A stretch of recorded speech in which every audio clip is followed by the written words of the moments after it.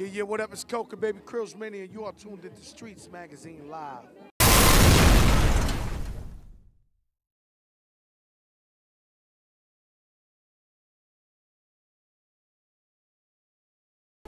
Baby, you can keep a secret. Kelka.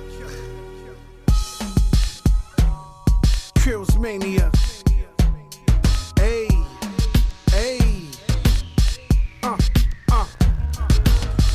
Off the runway, pair white nights.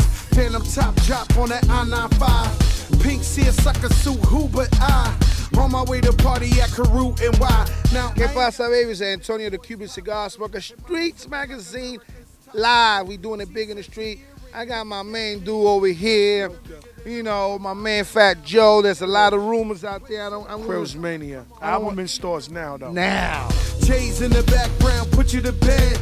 Says he got brains, so I'm looking ahead. And I'm looking for bread. Elephant in the room. The album's in stores right now, Scar. I mean, I love the album, man. I mean, I, I'm, I'm gonna tell you something. I was gonna tell you later on, but I bought like three copies myself, just My because I gotta support rap. my. friend. Nah, my people rap, man. DJ Khaled called me yesterday.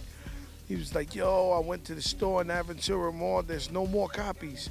I was like, word, it's sold out. He was like, yeah, man, I bought like 35 of those joints.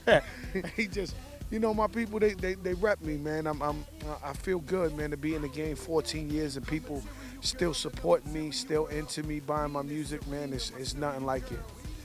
Besides support, there's of course gotta come the haters. There's a lot of people out there. They're just. It's, it's just like, I, you know. I, I'm gonna take it back. I'm gonna let's go with let's start with 50.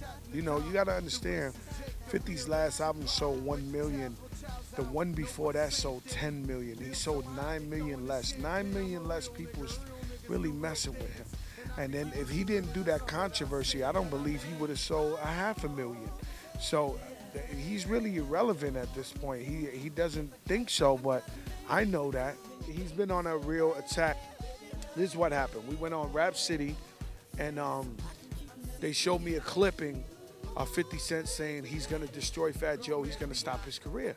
I said, I don't know where this guy has been because ever since I beefed with him, I dropped Get It Popping. I dropped Make It Rain, which is top 10 in America. Get It Popping, top 10 in America.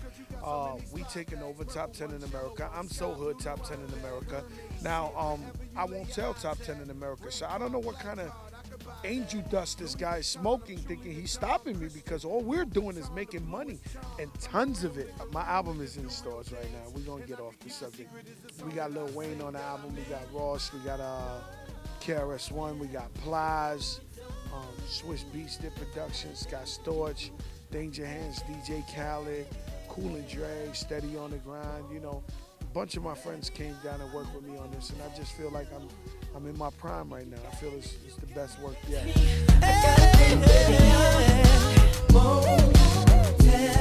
Joey Crack, you